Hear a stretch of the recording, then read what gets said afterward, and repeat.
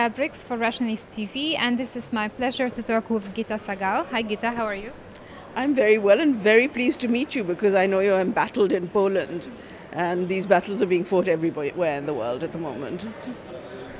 Thank you for your kind words of support. We are actually curious about the situation in India right now. Uh, as we are aware that uh, the nationalism in India and the, the fanatic Hinduism is taking over in the country. Could you brief us a little bit about it? Well, you know, I think it's important to remember that India had a very plural nationalist movement. The movement that fought the British was uh, one based on uh, plural identities, no state religion, a constitution that promised equality and no religion uh, in the state. And what's happening now is that the government that has taken power is a government of a very right wing Hindu party influenced by fascism. It started in the 20s and 30s, uh, you know, it's contemporary with modern Nazism and fascism, uh, strongly influenced by a very narrow blood and soil nationalism, which wants India to be a Hindu nation, not a nation of all peoples that live in it uh, and where people can be any religion or none. It wants to have a Hindu nation which, and destroy the constitution of India. It's a very serious situation. How powerful are they?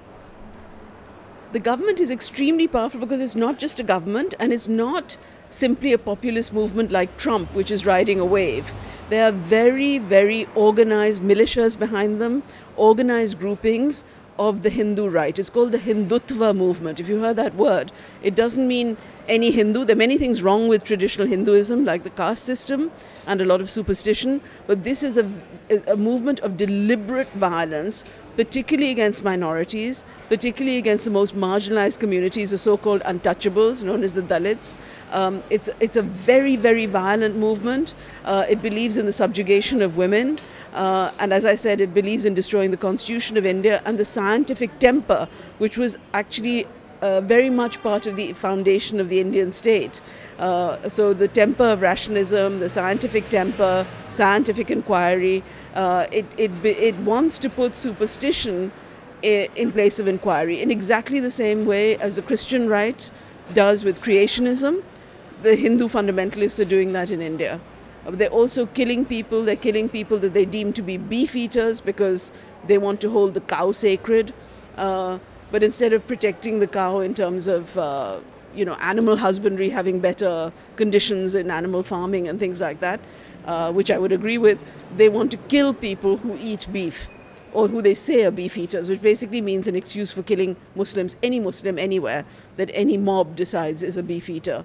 Uh, and people are being killed, rationalists are being killed, uh, individually assassinated because they wrote against the religious scriptures. You know, they, they, were scholars of the scriptures in some cases, or they challenged superstition, they challenged um, all kinds of practices that was thought to be miraculous and so on. Those kind of people have been three, at least three people have been killed. Writers have been stopped from writing because they challenged the uh, scriptural views of women.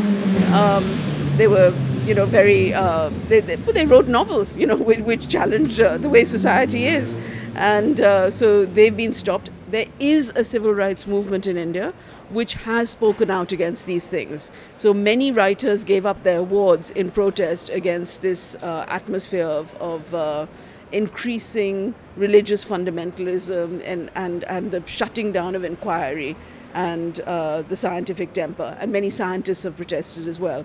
But unfortunately, the government is beginning through its uh, uh, support from various rich corporate media magnates and so on to control a lot of the media, to, to push out independent voices, to control the scientific institutions, to control the writing of history, uh, to control every area of civil society. And India has had a tradition of a very rich, vibrant scientific life and uh, a life of the humanities and the arts. And so it's, I can't say it's under control because there are movements against it. People are speaking out, but the government's writ of this Hindu right wing, fundamentalist, extremist party is uh, everywhere. And unfortunately, many Western governments think of it as an ally and a government that's leading a democratic nation. And what they're doing is destroying democracy from within. But how can they see it as an ally? In, in which sense? Because governments are fighting Muslim fundamentalism. So some governments see, see it as an ally against Muslim fundamentalism. In Britain, we have the context of Brexit. Um, and the, the, these Hindu right groups are very active over here. They, they have supporters in the British cabinet, they have supporters in the Labour Party, so they have supporters across the political spectrum. And uh, they, they lobby for uh, the government, the Hindu right government, and for Hindu interests in Britain. Uh, so, for instance, they do not want caste discrimination to be prosecuted, prosecutable in Britain. Uh, first, they say caste doesn't exist in this country. And then they say, but if you bring it in, you will be the ones causing uh, discord in this country. And what we're saying is that there, there is caste discrimination. Uh, that is, you know, uh, Hinduism traditionally divides people into different castes with different places, and some people are considered outcast and therefore have are not don't have full human rights. And the Hindu lobby in this country wants to maintain that situation. They want to pretend it doesn't exist and therefore to maintain that situation. And the government sees India as a place where they can invest money, or indeed where Indians might be persuaded to invest money in Britain. And it's quite desperate leaving the EU. Uh, so it sees it as an ally there, and it sees it as an ally in the war on terror uh, against Muslim fundamentalism. But actually, they're encouraging Muslim fundamentalism by the way they're behaving.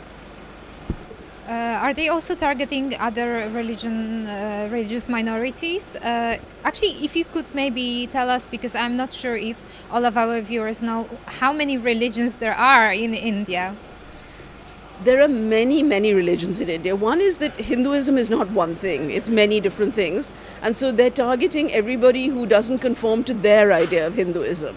Uh, that's one thing. Then they're targeting Muslims, definitely. They're the main target. And they're India is actually one of the largest Muslim countries in the world. There are about 200 million Muslims in India, again, of different classes and castes and, and different kinds of practices. Uh, there are 20, 30 million Christians in India.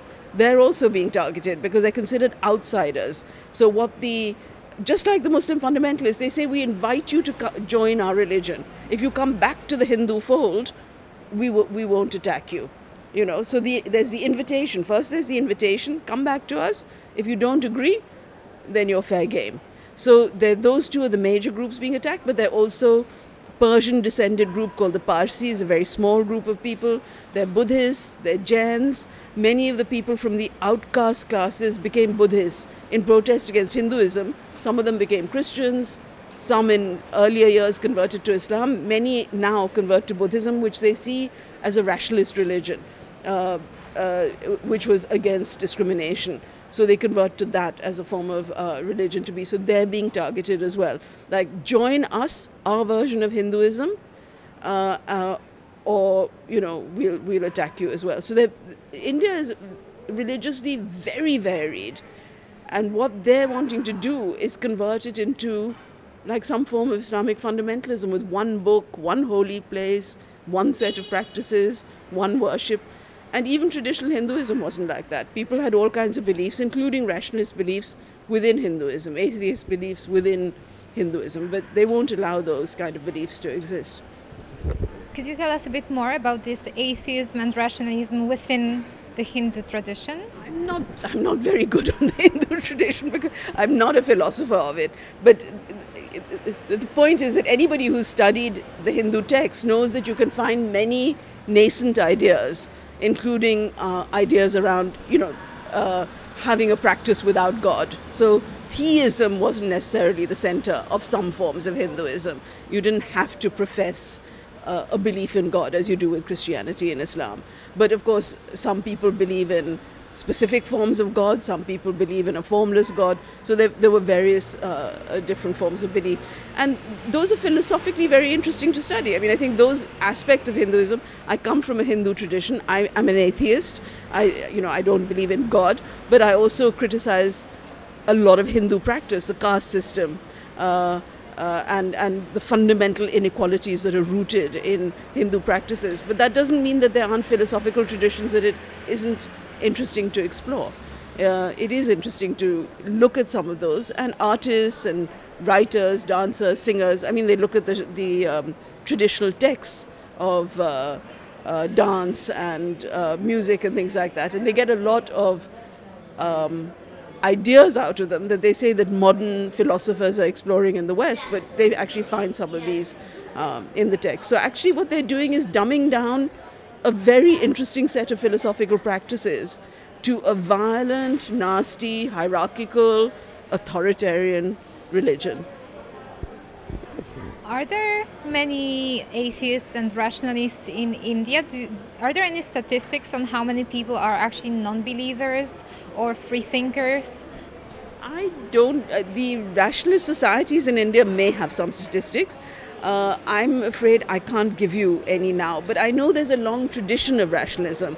Um, some of the Indians, like M.N. Roy, um, he, he was a rationalist in the uh, in the in the 20s, and in fact, he debated with Lenin about Lenin promoting the jihadis of its time, you know, of their time, sort of supporting Muslim fundamentalism against the British and other empires. And he said, don't do this, don't get mixed up with uh, religious leaders and things like that because you think they might pursue your goals right now. They, they, don't, they will not pursue any progressive goal ultimately. So there are all sorts of people who, who have been part of that tradition.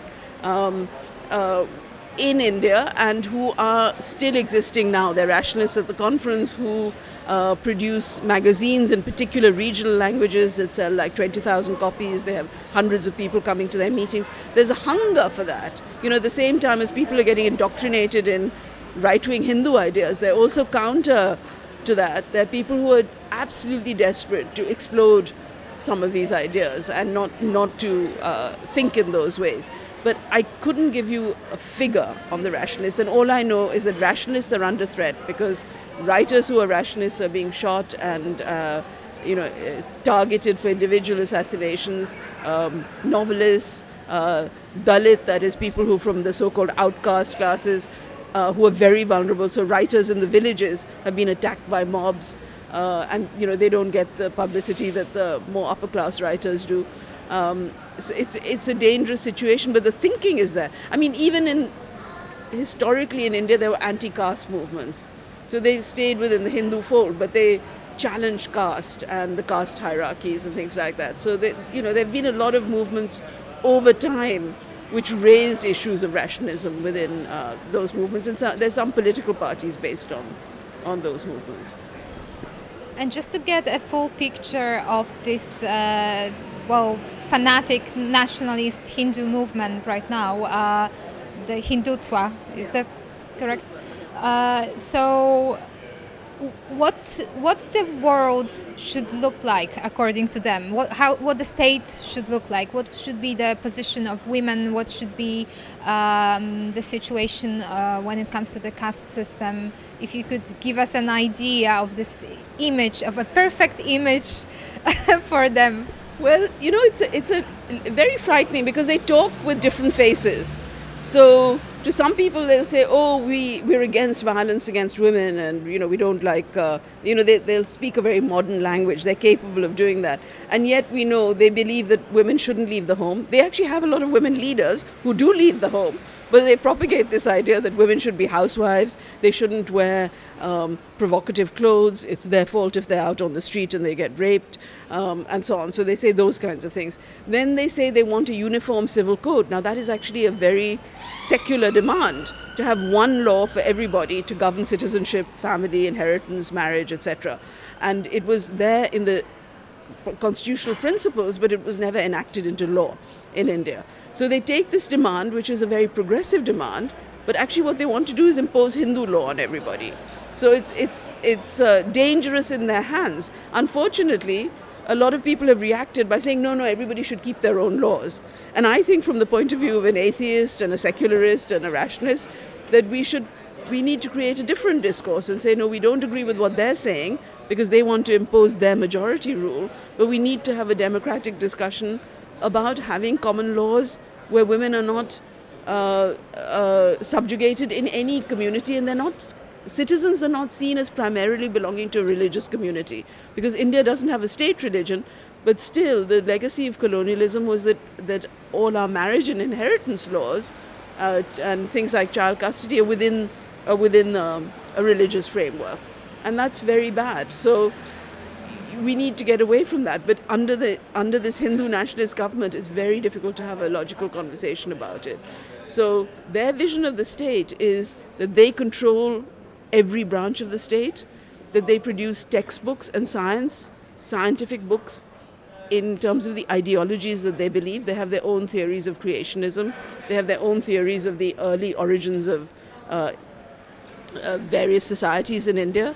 Uh, they see Aryans who there's a lot of debate about exactly who they were, which is a scientific debate, but they basically see them as the earliest Indians, that they're the original indigenous Indians. And most of the archaeology and linguistic work and so on would not say that they, they came from Central Asia into India. They were not the most indigenous original Indians.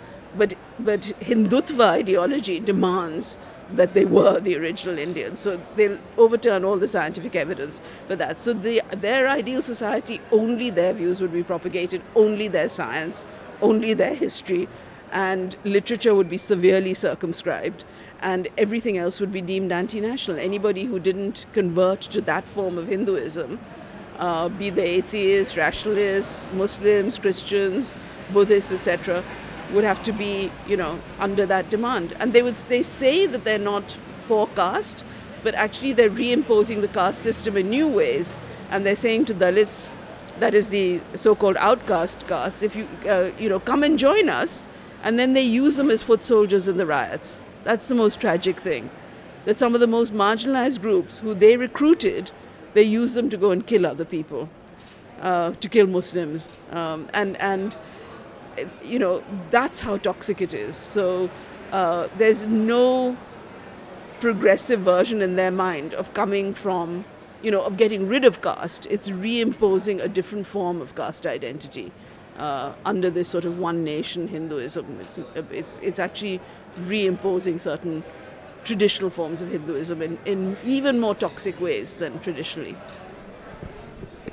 Well, that really sounds horrible. Um, is there anything we could do to help?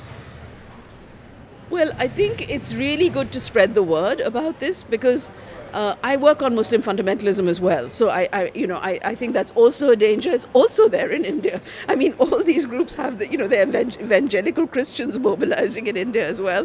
And of course, there you can see them as a as an oppressed group, but then they're also promoting creationism and so on. They're not they're not dangerous in terms of the state, but they're also creating a very conservative narrative within the, the communities that they're proselytizing in. So it it's just useful if you spread the word because people don't know about India. They think uh, fundamentalism is only the monotheist religions. You know, it's only Judaism, Christianity, Islam that can produce a fundamentalist religion. You can have a religion as plural as Hinduism with so many different facets to it, and yet it can produce a political movement that's very narrowing like this. And people don't understand that. They, the, these Hindutva people are very active in the diaspora abroad in Western Europe, in Britain, in America, speaking on behalf of all Hindus. You know they are the hindu lobby. So it's very useful to be able to know that they don't speak for everybody. They speak for a very particular political ideology which is very closely allied to very classic fascism. And you should be wary of it thank you very much we will then try to spread the word and well we hope no one else will be assassinated for for the scientific or for any other reason in fact so, good luck. And you, and you, because I know you have a struggle in Poland as well. yes. Thank you.